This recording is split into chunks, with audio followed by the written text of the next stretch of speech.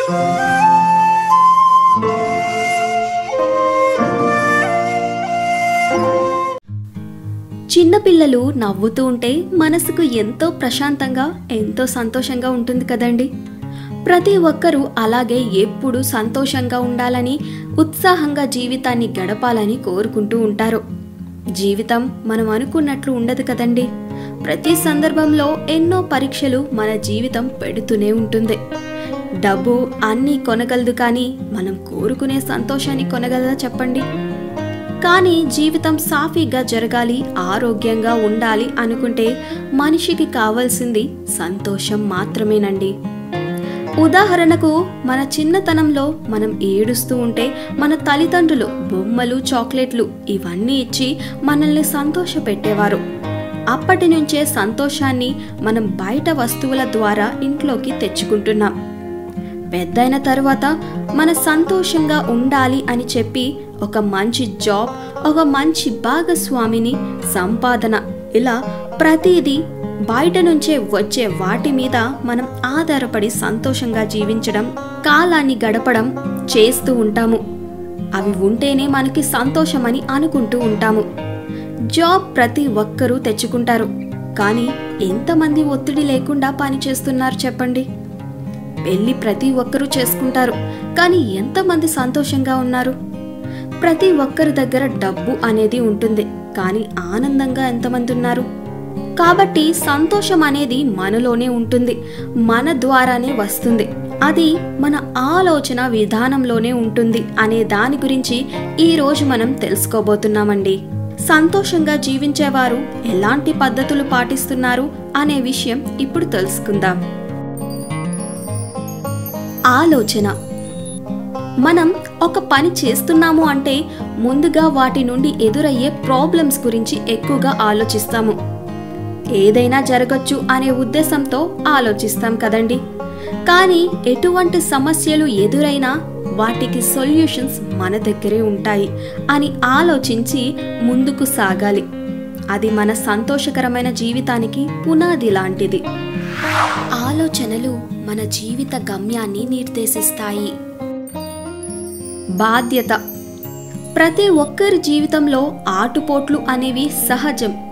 సమస్యలు అనేవి సర్వసాధారణం. కానీ ఎటువంటి పరిస్థితుల్లోనైనా సరే మనం ధైర్యంగా నిజాయితీగా నిలబడాలండి. ఆ సమస్య మన వల్ల ఏర్పడితే మనం నిజాయితీగా ఒప్పుకొని దానికి చక్కని పరిష్కారం మనమే ఆలోచించాలి. పరిష్కారం లేని సమస్య ఉండదు అని తెలుసుకోవాలి.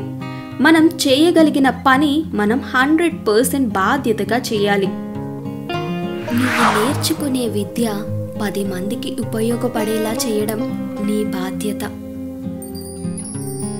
సంతోషమే సగం బలం. జీవితంలో ఎదురయ్యే చిన్న చిన్న సంఘటనలు కూడా మనకి సంతోషాన్ని ఇస్తాయండి. అలాంటి వాటిని మనం చిన్న చూపు చూడకూడదు. ప్రతి ఒక్క సందర్భాన్ని సంతోషంగా గడపడానికి చూడాలి. ప్రతి సమయాన్ని ఆనందంగా మార్చుకోవడానికి చూడాలి. అరే ఇలా జరిగుండకూడదే? ఇలా మనం చేసుండకూడదే? ఇలా చేస్తే బాగా జరిగేదేమో? ఇలా ఉంటే బాగుండే వాళ్ళమేమో? అని చాలామంది అనుకుంటూ ఉంటారు కదండి. కానీ జీవితంలో మనం అనుకున్నవన్నీ జరిగితే అది కాలం ఎలా అవుతుంది చెప్పండి? కాబట్టి ప్రతి సందర్భాన్ని మనకి అనుకూలంగా ఆనందంగా మార్చుకోవడానికి చూడాలి. ప్రతిదానికి సొల్యూషన్ ఉంటుందని మర్చిపోకూడదండి. భవిష్యత్తు గురించి ఎక్కువ ఆలోచించేవాడికి భయం ఉంటుంది. గతం గురించి ఎక్కువ ఆలోచించేవాడికి బాధ ఉంటుంది. వర్తమానంలో జీవించేవాడికి మాత్రమే ఆనందం దొరుకుతుంది. గతం గతః గడిచిన కాలంలో మనకు ఎదురైన సమస్యలను గుర్తు చేసుకుంటూ రాబోయే కాలం గురించి మర్చిపోకూడదండి. రాబోయే కాలం గురించి మనం మరింత చక్కగా ప్లాన్ చేసుకోవాలి. ఒక గమ్యాన్ని ఏర్పరచుకొని దాని గురించే పాటుపడాలి. గతాన్ని గుర్తు చేసుకుంటూ వచ్చిన అవకాశాన్ని వదులుకోకూడదు. మన భవిష్యత్తు మన చేతుల్లోనే ఉంటుందని గుర్తుపెట్టుకోవాలండి. గతాన్ని తవ్వకండి. వర్తమానంలో పనిచేస్తూ భవిష్యత్తును నిర్మించండి. శ్రద్ధ.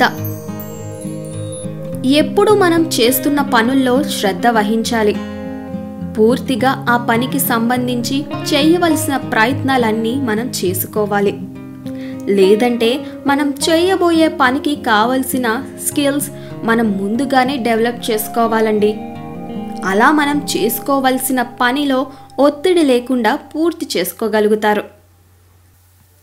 శ్రద్ధ ఉన్నవాడు సర్వం ఉన్నవాడు కానీ శ్రద్ధ లేనివాడు ఏమీ లేనివాడే. పెట్టుబడి.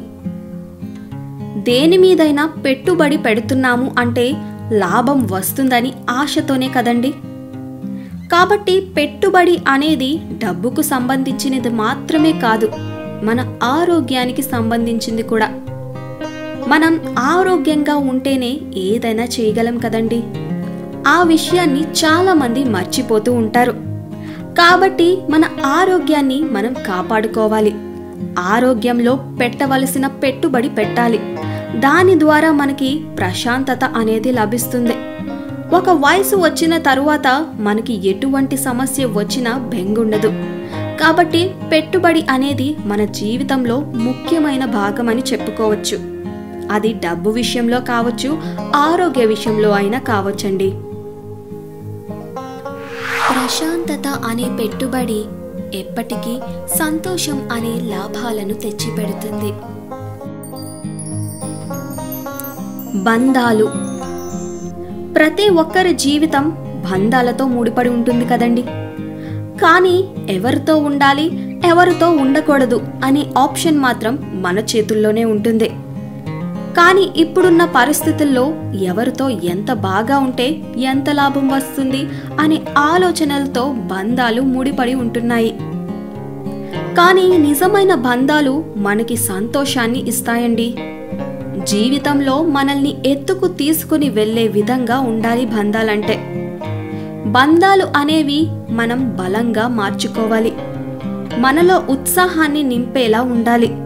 కాబట్టి సంతోషకరమైన బంధాలను ఏర్పరచుకోవడం మన చేతుల్లోనే ఉంటుందండి. కొన్ని బంధాలు పరిమళంలా అల్లుకుంటాయి. కంటికి కనిపించకపోయినా సంతోషానికి కారణమవుతాయి. క్షమాపణ మార్పు.